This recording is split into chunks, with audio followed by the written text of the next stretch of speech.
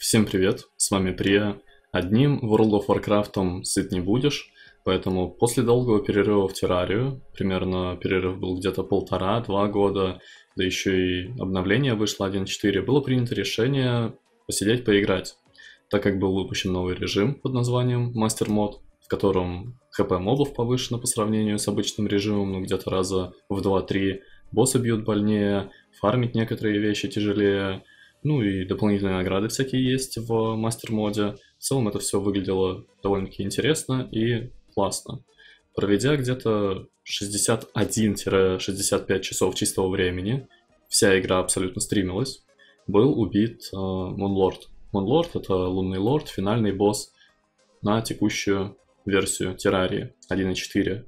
Собственно, новых боссов там чуть-чуть, конечно, завезли, но они такие второстепенные, и не являются логическим завершением игры. Давайте зайдем в игру, подробно рассмотрим абсолютно все бонусы, которые использовались при убийстве Мунлорда. Что у нас получается? Если пройтись по аксессуарам, в основном это абсолютно все защитные аксессуары, сами по себе, по своей механике, которые повышают статы каким-либо образом, и при этом все эти аксессуары перекованы на 4 защиты. 4 защиты в эксперт режиме дают минус 3 получаемого дэмэджа от каждой атаки. Как в мастер-моде рассчитывается снижение дэмэджа, вот это вопрос хороший. Эм, небольшая арена, которая по краям имеет стеночки. Ну, то есть на этой арене фармилась тыквенная луна, морозная луна. Ничего такого уникального. Внизу имеется мед, в который мы заходим время от времени, получаем 30-секундный бонус на ускорение восстановления жизни. Также мы кушаем тортик, который можно получить у тусовщицы в тот момент, когда она начинает вечеринку. Мы говорим с ней, получаем тортик. Он дает нам 20% скорости передвижения. Так как я играю воином, то мы используем заточку оружия. Это такой точильный камень, который можно найти в сокровищницах. Использовав его, увеличено пробивание брони. Также можно использовать колдовство, а именно увеличение максимального количества питомцев. Ну и при этом мы используем посох дракона звездной пыли. Чем больше мы можем призывать питомцев, тем больше он по, как говорится, своему размеру. Что далее? Ну, касательно зелий, в целом все просто. Использовалось зелье на 8 защиты, то есть это снижение 6 получаемого дэмэджа от каждой атаки. Ну, может быть, даже и чуточку больше, об этом уже сказано было ранее зелье регенерации, которое позволяет нам регенить пассивно хпшечку. Далее зелье скорости, увеличение скорости движения на 25%. И далее три рыболовных зелья. Первое это зелье выносливости, получаемый урон снижен на 10%. Второе это зелье жизненной силы, увеличение максимального здоровья на 20%. И третье это зелье ярости, увеличение шанса критического удара на 10%. Ну и еще одно, зелье призыва, я уже начал использовать его можно сказать, в последних фазах игры при убийстве боссов, зелье призыва позволяет на одного миньона призвать больше. То есть в случае с э, данным посохом дракона, просто дракон будет больше по размерам, ну и при этом будет больше наносить дамага. Касательно оружия, использовалась праведная заря и праведное солнечное извержение, которое делается из солнечных фрагментов. Не стоит забывать о бонусе от еды. В обновлении 1.4 их появилось три ответвления, то есть, наводя на предмет, на предмет еды, мы будем видеть английский текст. Major improvements to all stats. Либо medium, либо minor. То есть, если сравнивать минорную еду и мажорную, там разница в два раза. Например, минорная еда дает 2 единицы защиты, ну а мажорная еда дает 4 единицы защиты. Я думаю, выбор очевиден. Ну и касательно брони, сейчас-то уже ясное дело, все намного лучше. Солнечная броня имеется, но в момент убийства лунного лорда использовалась жучья броня. Именно с жучьим нагрудником на 32 единицы защиты. Бонус там идет такой, что призванные жучки уменьшают по вам получаемый урон. Самое главное уменьшить по себе урон, ну а босс уж сам умрет, это точно. Последний бонус, о котором стоит сказать, это флакон с ихром в тот момент, когда мы его выпиваем и поражаем какую-либо цель, то она становится чуточку желтой, и при этом у данного врага снижена защита, то есть мы пробиваем эту цель еще больше. Это плюс дамаг для нас. А далее будет представлен вам отрезок с убийством лунного лорда, то есть это первый убитый Мунлорд на стриме, это вырезка со стрима все-таки стоит понимать. Вот, так что приятного вам просмотра, берегите ноги, мойте руки, не забывайте о ссылках в описании. Также на Твиче можете открыть вкладку видео, там есть и другие записи боссов. Если будут какие-то вопросы, дайте знать об этом в комментариях. До скорого. Нет, не юзал.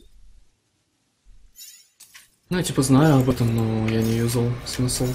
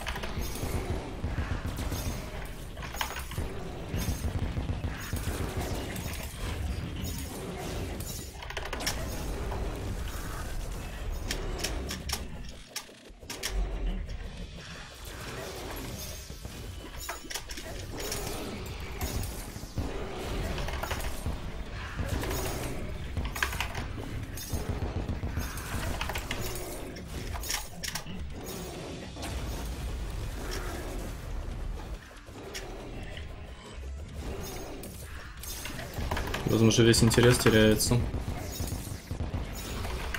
Обычно деп юзают те, кто быстро хочет игру пройти.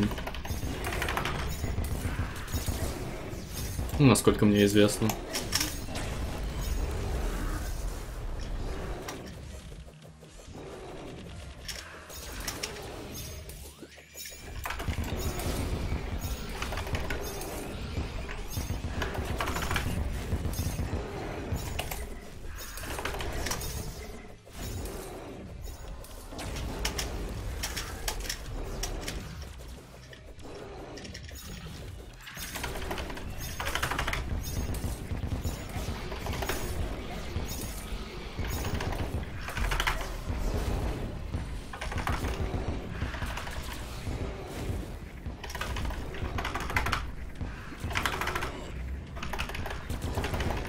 Рука осталась левая.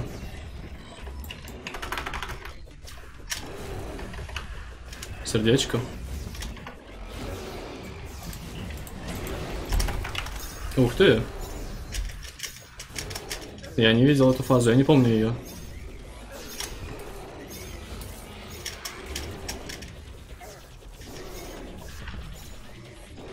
Он один, да, пока что? А, их трое, да?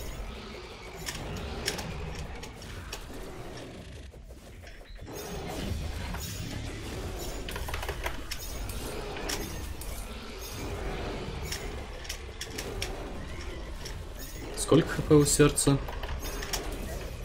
100к? Да, 100, сотни, сотни. 95.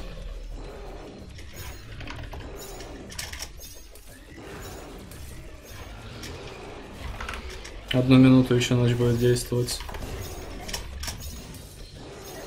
Мне нужно за минуту его убивать. Для меня это важно.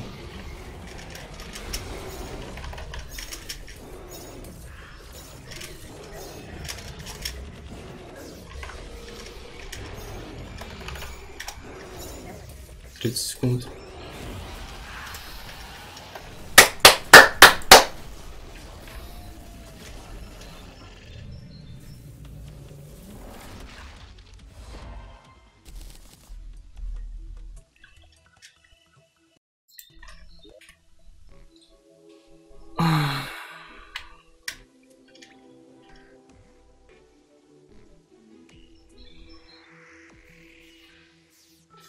Я забыл поменять э, перчатку на очарование мифов.